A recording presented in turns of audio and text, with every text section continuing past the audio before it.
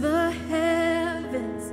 Jesus be the center. It's all about you. Yes, it's all about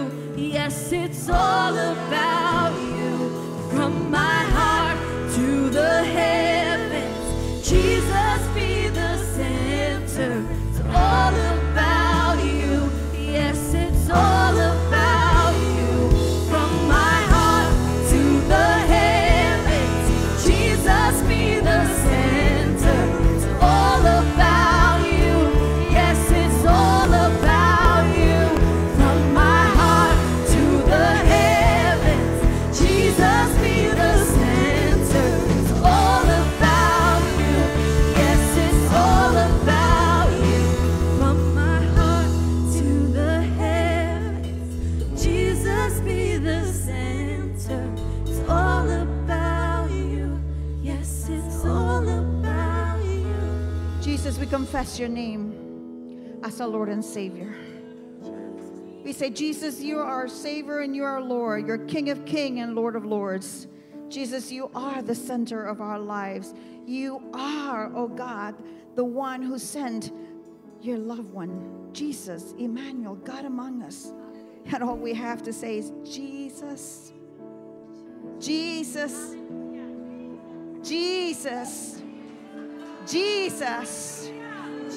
Like the blind man on the side of the road, neglected by everyone. Son of David, Son of David, Jesus, I need your healing. Son of David, Son of David, Jesus, Jesus, I need your deliverance. I need your touch, oh Lord. You are the center.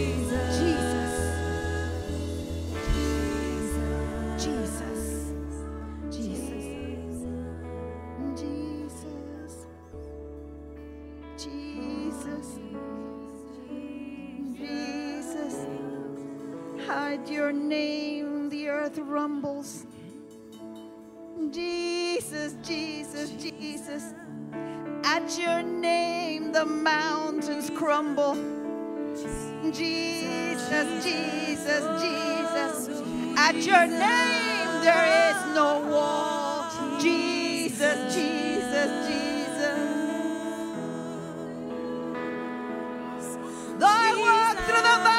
shadow of death, you are with me, Jesus, Jesus, Jesus. Jesus. Hallelujah, hallelujah, hallelujah. What a sweet name. What a sweet name. What a sweet name. What a sweet name.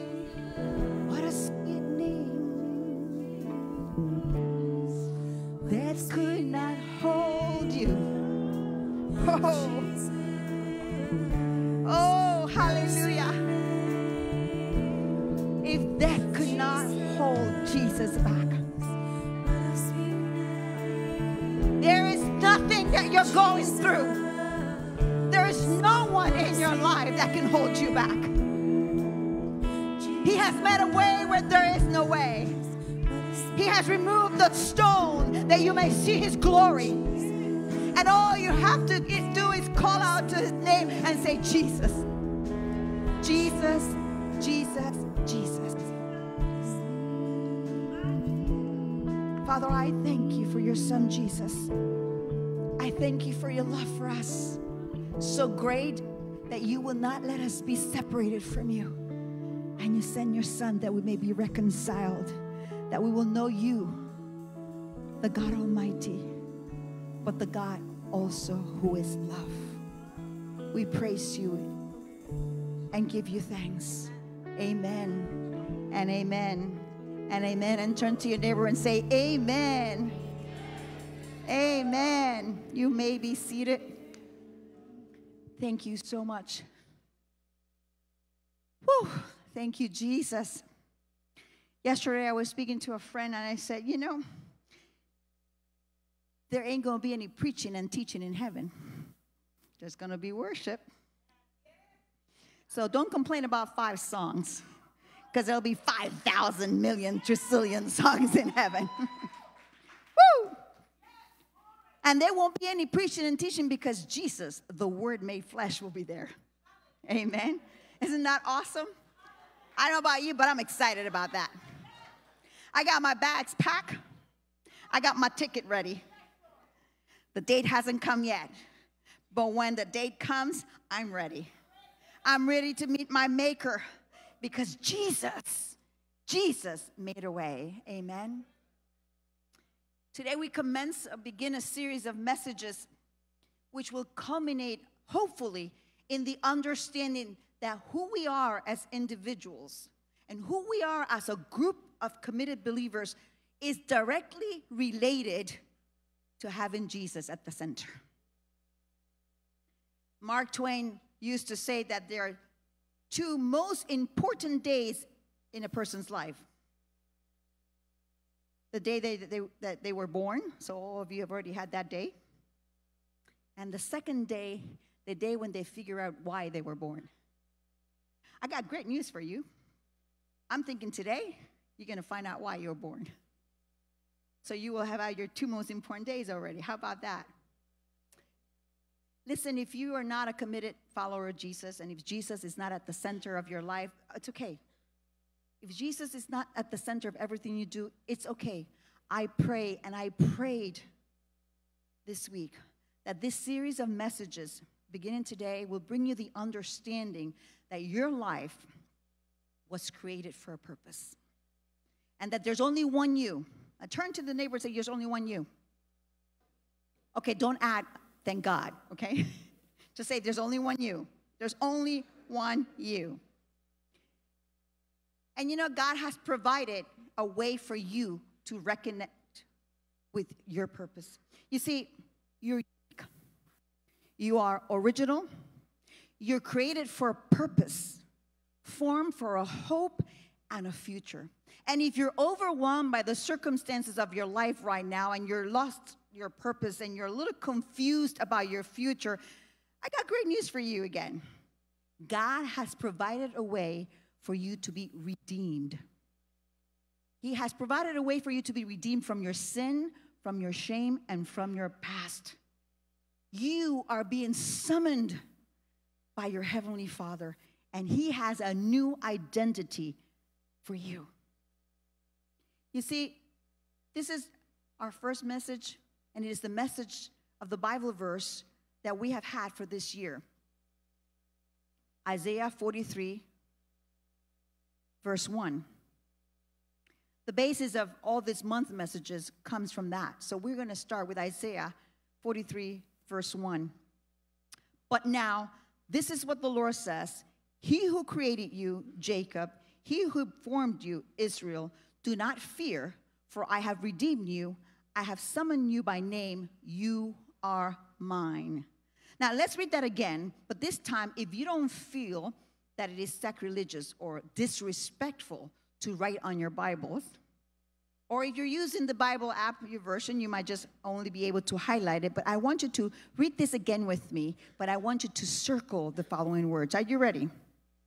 But now, this is what the Lord says He who he who created you, Jacob, he who formed you, Israel, do not fear, for I have redeemed you. I have summoned you by name. You are mine. Created in God's image, formed for his divine purpose, redeemed from sin shame, and the past, and summoned by a new name. Created, form, redeem, summon. Let's say that together. Created, form, redeem, summon. With Jesus at the center, you will understand that you have a new identity in Him. You are no longer an accident of nature or maybe a night, one night stand for your, from your parents or who knows what. No, you're not, not that. You were not an accident. You are not a mistake. You were not an afterthought. You were not a, oops, we're having another baby. No. God created you, and He created you in His image, and He formed you for His divine purpose, and He has provided a way for you to be redeemed from sin and shame and the past, and He is summoning you for a new identity, for a new name. In the upcoming weeks, we'll be talking about formed and redeemed and summoned, but today I want us to talk about created. You see, he who created you. See, to create is to bring something into existence. He created you and I in His image. Where you and I didn't exist, where mankind didn't exist, God brought us into existence. We didn't have a beginning until God gave us a beginning. God, the Father, the Son, the Holy Spirit, they had each other. They didn't need you and me. They did not need mankind. But they created heaven and earth, and they saw that all of this was good. And then we read in the first chapter of the book of beginnings, which is the book of Genesis, in verse 26, this is what we read. Then God said, Let us make mankind in our image, in our likeness, so that they may rule over the fish in the sea and the birds in the sky, over the livestock and all the wild animals, and over all the creatures that move along the, crowd, the ground. So God created mankind in his own image. In the image of God, he created them.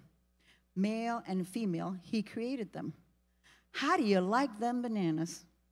You were born a ruler already. Think about that. It says that God created heaven and earth. And after he saw that everything was good, he, Father, Son, Holy Spirit decided, hey, let's Let's create someone that will rule over all of this. So if you are finding yourself like you're at the end, that you're the tail, today, let me tell you, you're not. You're the head.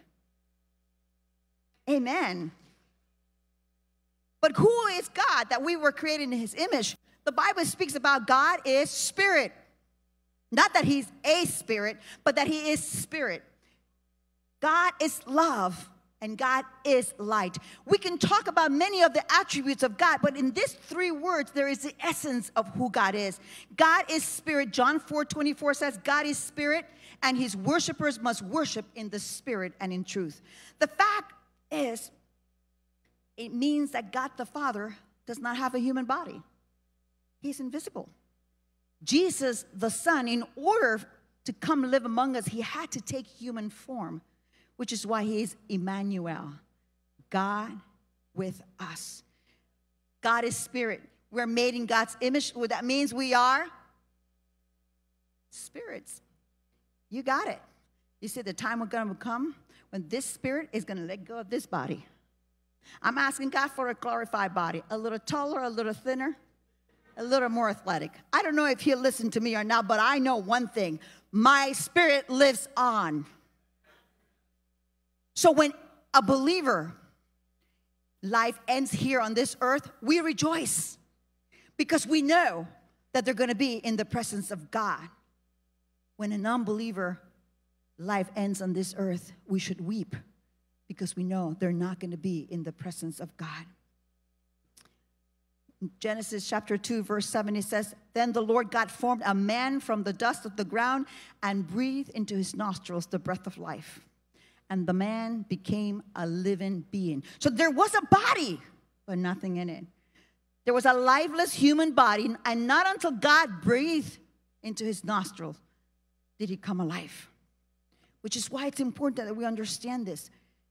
The question is for you and for me will our spirit live in the presence of God, in the presence of love and light? Or will our spirit live in the absence of God, in the absence of love, and in darkness? That's the question we have to ask ourselves. And we only have but this temporary life on this earth to decide where we want to spend eternity. God is spirit, the Bible says, but also God is love. In First John 4 8, it says, Whoever does not love does not know God because God is love. So stop hating, haters. Check those Facebook posts. Just saying.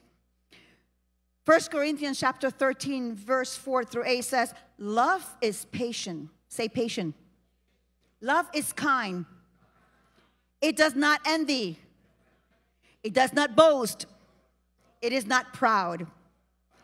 It does not dishonor others. It says others. Everyone else is included in others. Did you hear what I'm saying? Whether they deserve to be dishonored or not, you don't dishonor them. You know how many times we sit in the seat of judgment and the seat of the scornful? When someone that we know has walked away from God or walks in disobedience or are living in darkness because they're not living with Jesus at the center, and we say, mm, mm, mm, I knew that was coming. How dare you sit in the seat of judgment? What we should say is, How can I help God? Give me an opportunity so that I can go and redeem them as you have redeemed me. You see, it is not self seeking, it is not easily angered, it keeps no record of, mm, mm, mm, no record of wrongdoing. Throw away that little notebook that you have with the people that have done wrong to you. You know how many times someone comes to talk to you about somebody say, "Oh, you know, I knew that was going to happen because I remember when she was working with me, this is what she did."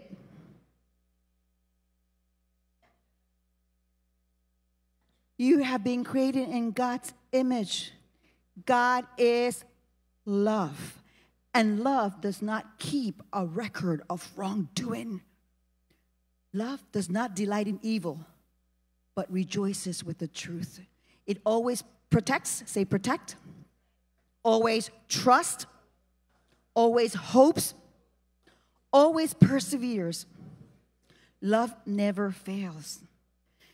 That part always annoys me sometimes because I would like to do it 90% of the time. Your children, when they're small, you always want to protect them. And you're tired and exhausted, oh, let them fall and hit themselves, they'll learn a lesson. God doesn't do that. He teaches us and teaches us, and yes, we'll fall and hurt, but He's there to pick us up and to show us the way. And we need to be able to do that. Always protect, always hopes, always perseveres. God is love, and God created you and I for His pleasure, just to love us. Can you imagine that?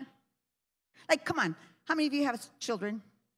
You know, and they're small, they haven't become teenagers yet, okay? And they do anything, you're like, you delight in them, right? They go into the bathroom and they take the toilet uh, paper, the roll, and they roll it all the way to the. Oh, look what my baby did! and you take a picture and post it on Facebook. And you say, he's or she's going to be an adventurer. You delight in your children. You don't only delight in them when they're doing things right. Am I correct? See, you don't have to be singing a praise song or being on your knees worshiping or praying or fasting for God to delight in you. He delights in you because you are made in His image. You are created in His image, and God is love. We are made in His image. So, who we are and everything we do should come from love. Everything, because love conquers all. I just heard a story, as a matter of fact, yesterday of a high school principal in Newark, New Jersey. And um, since I'm from Jersey, some of you are from Jersey, Jersey, yeah, Paterson High School, Eastside High School, the Goats, all that fun stuff. yeah. This principal realized that 85% of his students were missing two or three days of school a month because they were being bullied for not having clean clothes. So, what did he do? He rallied. He spent the last two years, actually 2017 and 2018, lobbying to secure $20,000. And he put a free laundromat in the locker rooms where the kids can do their laundry after school. You see, he's not just providing the students with an opportunity to have clean clothes, he's taking away the fuel for bullying. What compelled him? What inspired him? What motivated him? Love. love. There was a study done some years ago, of 200 students, and the researchers came back and said none of them are going to succeed. Perhaps because of their environment, perhaps because of what they, they answer the questions. Years later, about two dozen years later, they went back. And out of the 200, 176, they found 20 of them had already passed away. Of those 176, all had gone on to have successful careers. So they went and asked all of them, and there was one common denominator it was a teacher. And so they went and asked this teacher the secret. Do you know what the teacher said? I just love them. I just love them. Can you imagine in each and every one of you will just take upon yourself the image of God who is love and just love your neighbor. Love your neighbor's children. Love your colleagues, your coworkers. Love the people across the hall that don't look like you, don't talk like you, don't dress like you, don't live like you. Just love them. Just love him. God created you and I in his image to love him above all things and to love one another. Are you loving God above all things? Or just in your spare time? Are you worshiping him? Are you giving him the glory, giving him honor in how you carry yourself? Are you being like Jesus, who came to serve and not be served? Who came to destroy the works of evil? Are you doing that? Because that's what we were created to do to love one another, to show God's love to those around us. And as a community of God's children, God's love must have the place in all we do, the priority in all we do. It's important that we understand that because God created us in His image, and He is spirit and He is love. And in John, First John 1 5, it says that God is light. This is the message we have heard from him and declared to you God is light, and in him there is no darkness at all. So, God created us in his image, and God is light. So, guess what? We are cre- created for God's light to shine through us so that others may see our good deeds and give glory to the Father who is in heaven that others may see there's nothing about being a secret Christian in here. There ain't nothing about being a CIA undercover Christian here. There's nothing about keeping your faith personal or individual. This is to go public. First Thessalonians chapter 5 verse 5 says, "You you are all the children of light and children of the day. We do not belong to the night or to the darkness. Did you hear what I just read? You do not belong to the night or to the darkness. So, guess what? You have no business doing things in hiding. Because if you're hiding, you know you shouldn't be doing it. When we hide to do anything, you know you're up to no good, girl, guy. You know, one thing we did as our children grew up, and I thank God for the wisdom that God gave us in raising a blended family of six children. That's where I got my gray hairs, but I never, you'll never see them because I cover them. We never allow them to have a TV in their bedroom or a computer in their bedroom. Because while they're underage, they're under our authority and under our protection and under our love. We used to have the computer in plain view where we knew what they were all doing. And one TV in the family room, and it was a family room. And when we watch TV, I think some of you know that, watching something, and something was all right, I would say that's fornication. That's adultery. That's murder. As they became older and became teenagers, mom, we already know, please, let us watch the program.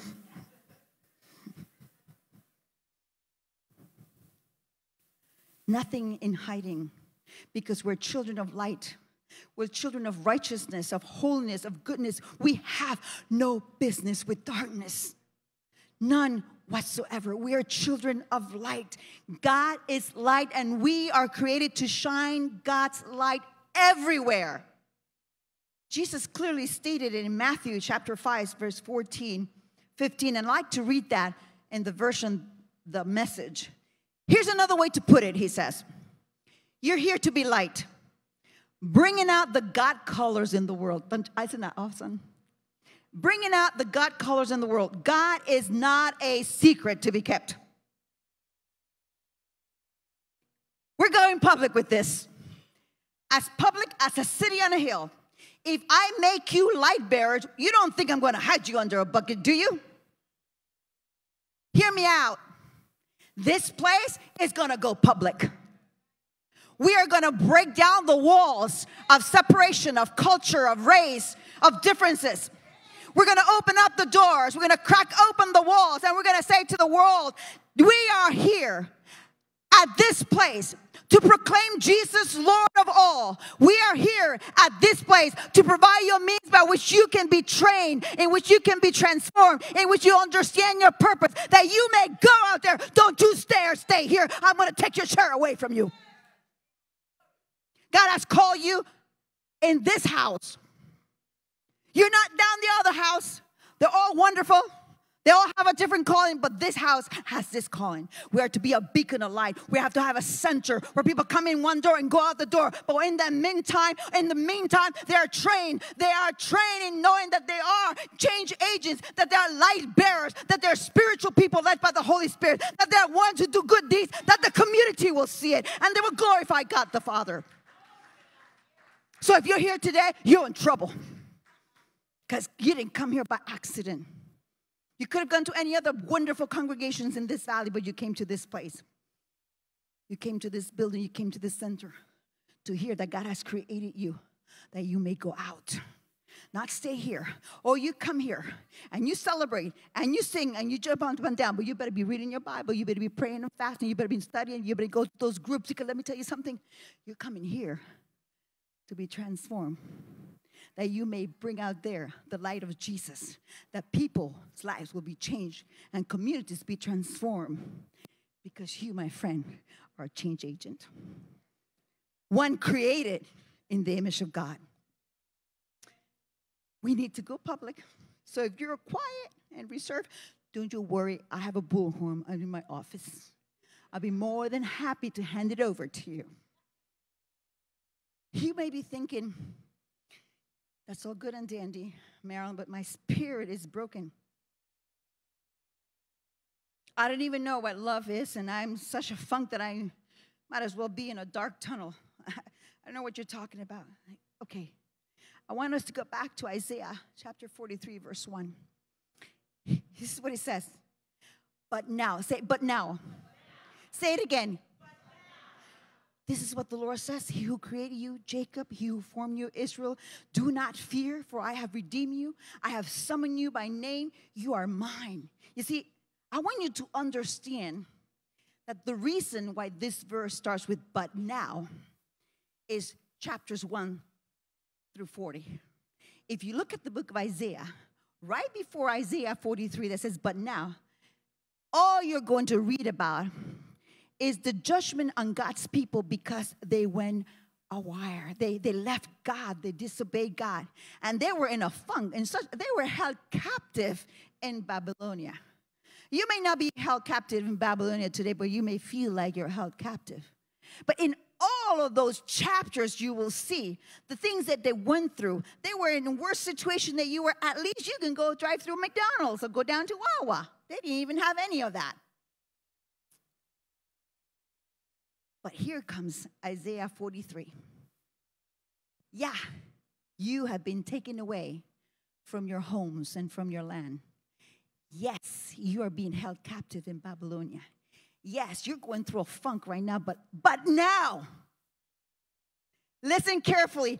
But now this is what the Lord says the one who created you, the one who formed you, oh, the one who says, Do not fear, for I have summoned you by your name, by the name I'm giving you. You belong to me. I ain't gonna let anybody take you away from me. The reason it starts, but now.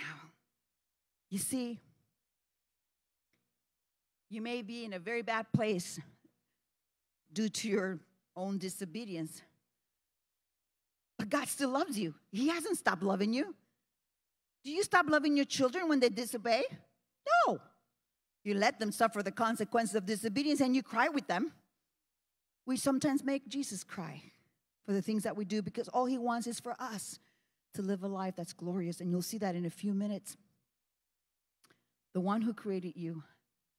And I, Isaiah 43, if you have a, just open it up.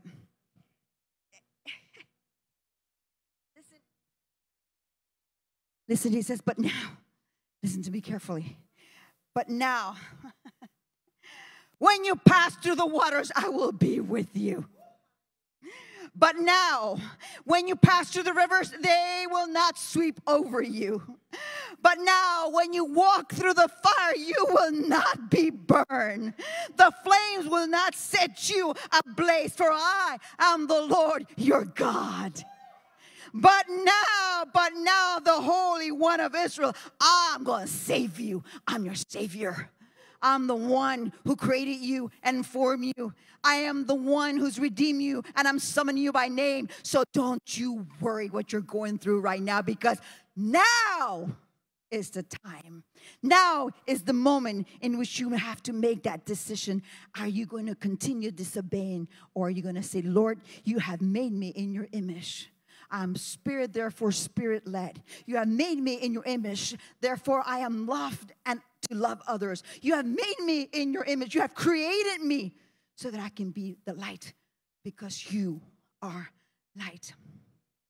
You see, this is how I figure God.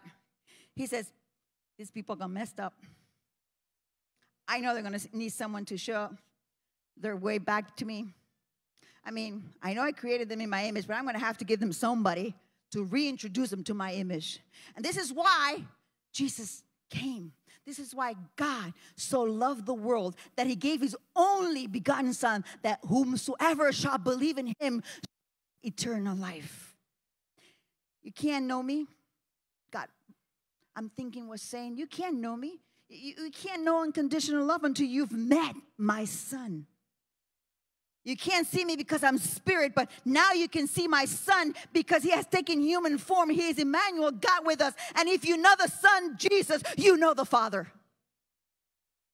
God says, I love you so much, I wasn't going to let you suffocate in your issues, in your day to day routine.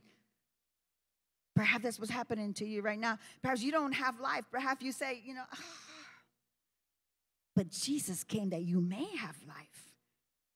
Jesus came that you may be loved and love others, that you may be light unto others, that you will dissipate the darkness wherever you are. Can you imagine if you understood completely the fact that you were born, created in God's image, and that you are light, and everywhere that you walk, you break the darkness because you are the light? If the demons are coming on this sidewalk, they're gonna go on the other because they ain't gonna wanna mess with you because you know who you are and you know why you're here and you know who your God is, and you know who your Lord is, and you know who your King is, and you're the light, and you don't live in darkness. Ephesians chapter 2, verse 10 says, We are God's handiwork. I love that. Every time I think about that, I think about my grandmother knitting, making these beautiful crochet things, you know. How many of you can see that, right?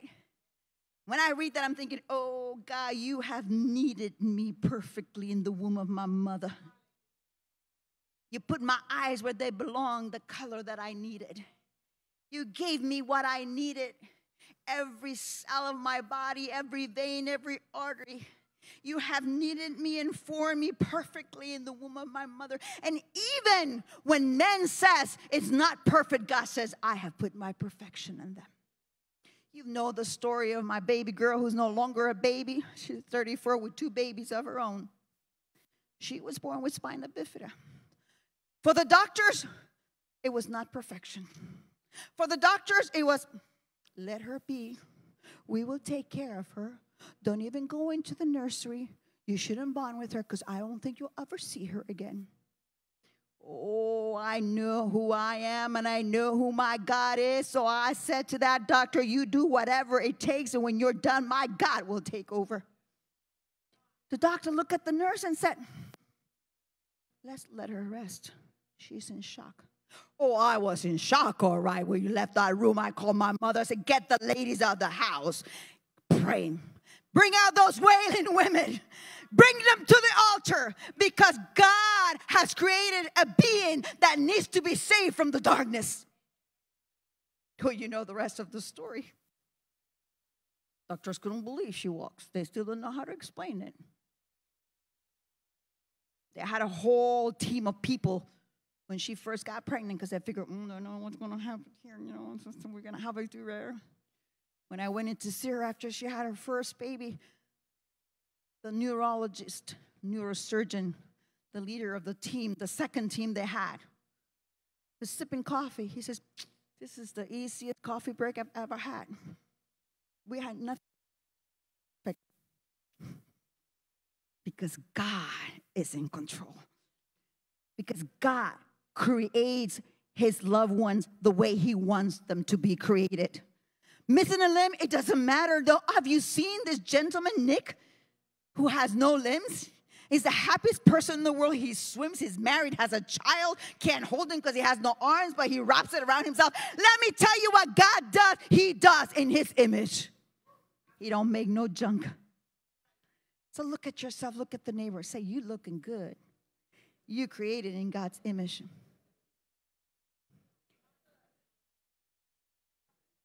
Now, this is it. You look beautiful. This is sign language for beautiful. We are God's handiwork, created in Christ Jesus to do good works which God prepared in advance for us to do. And this is what Paul says about Jesus at the center of all this creation and why we were created. In Ephesians chapter 1, verse 11 and 12, it says, It's in Christ. Say, in Christ. And Christ is the Messiah, it's Jesus, right? It's in Christ that we find out who we are. Jesus at the center of it all. It is in Christ that we find out who we are and what we're living for. And long before we first heard of Christ and got our hopes up, he had his eyes on us, had designs on us for glorious living. Tell your neighbor, glorious living. Glorious living. Part of the overall purpose he's working out in everything and everyone. See, God has his eyes on you. He has designs on you for glorious living. Won't you make Jesus the center of your life? We were created in God's image to be God's ambassadors on this earth. But the only way we can fully accomplish this as individuals, as a community of believers, is to recognize Jesus as Emmanuel, God with us. It is in Him that we have our being. As a center, we, as I said, we hope to train thousands to understand their purpose and their calling. We want to be a beacon of light where lives are changed and communities are transformed because you understand you are a spiritual being led by the Holy Spirit because you were created in God's image. Because you understand that you are a light bearer because God is light and you were created in His image. Because you understand that you are an ambassador of God's love because God is love and you were created in His image. So if you have not fully committed to live a life that centers around Jesus, that does what Jesus would do. In the 70s, this bracelet came out, WWJD, What Will Jesus Do? It became a very popular thing. Forget the bracelet. Let the Holy Spirit ask you and tell you, do you think Jesus would do that? Do you think Jesus will have you look at that person in that way? Do you think Jesus will have you turn your nose up at that individual? Right now, there are people in your life who need to be loved by you, who are unlovable. Do you hear what I just said? They are unlovable, but they need to be loved by you. See, love conquers all. So, my question to you today is Will you make Jesus the center of your life? Will you recognize that though you may have walked in darkness, today is the day where God's light shines in you. Will you recognize, though you may have a hurdle, uh, circumstances in your life that are suffocating you? Will you recognize that once you come to the Lord Jesus, oh, they may not disappear, but though I walk through the valley of the shadow of death, He will be with me. He will not leave you alone. You see, He doesn't promise to take away the valley of death or the shadow of death, but He promises to be right there alongside of you where you can say, Jesus, Jesus, Jesus, I need you. Is this you today? Is this you right this moment? Is there an area in your life, a family member, a coworker, a colleague that you know needs Jesus and you want Jesus to use you as you are created in God's image? If that's who you are, I want you to stand right where you're at. We want to pray with you and for you. And I'm going to ask the ministers to pray for you. There's no shame in saying, I need Jesus. See, I need Jesus every day. I need Jesus. Do you need Jesus for salvation? Do you need Jesus for healing? As the team worships, I want everyone to just close your eyes so people will not be ashamed. You know what? There's no shame in saying, hey, I'm broken. God can fix me. And even if He doesn't, He's going to love me broken anyway. So let us pray. Holy Spirit, I ask that you will minister to the hearts of the people right now. That they will be bold and courageous to stand and say, I need Jesus. I need Jesus. I need the power of that name. I need the power of his love. I need the power of Jesus.